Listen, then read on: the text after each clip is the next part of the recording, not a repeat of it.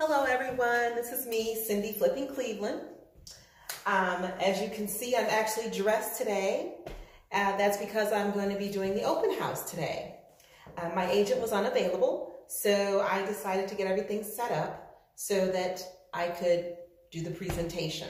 So I'm looking forward to the response since hopefully it, hopefully, hopefully it will be a good response because it's a beautiful day, which is one reason why I wanted to do another open house um, I've had some activity, uh, no offers yet.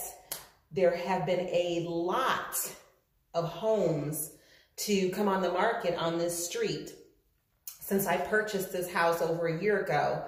And since I've gotten it on the market the past two months, I'm seeing more activity of individuals doing homes or investors or whoever you rehabbing homes on this street. So I'm hoping that that does not have a negative effect on my property. Uh, my home is a little different than some of the homes in the area. It's a little on the smaller side because it's three bedrooms, two and a half baths. Some of the homes on the area in the area are five bedrooms, six bedrooms, three plus baths. A lot more square footage, 3,000, 4,000 square feet. But I'm hoping not everyone is wanting some massive home, that someone wants a moderately sized home that they can maybe even downsize from one of those larger homes and stay in the area. So that's the kind of market that I'm trying to draw in. So I've been trying to market in that direction. What I plan on doing is perhaps going to some of the real estate agents' office, some of the brokers' offices, and just handing out a flyer, introducing myself, letting them know that I do have a property in the area uh, available, completely rehabbed, everything.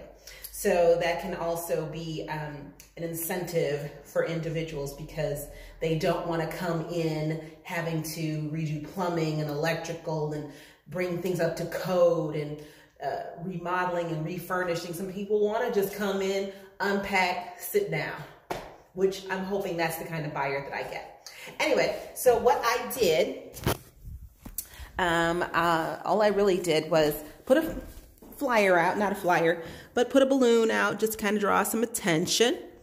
And then also, I've been told that this is a really good marketing idea strategy. My fire is taking a little bit of a toll here. It's kind of burning out. I, I lit it when I first got here. It was really nice. First time I lit it, I was kind of scared. I've never done a fireplace before, lit a fireplace before.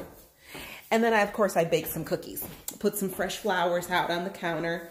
And I did uh, before pictures so that people could see. And I've placed those all over the house in each room so that you could see what the house looked like before and after.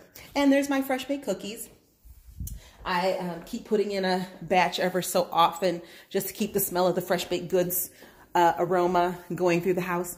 So anyway, that is my day and hopefully it works out well. I'm not going to be here all day because I'm going to a play tonight. Going to go see Clue. So I'm looking forward to that. Anyway, everyone, thank you for joining me again on Cindy P. Flipping Cleveland. Bye.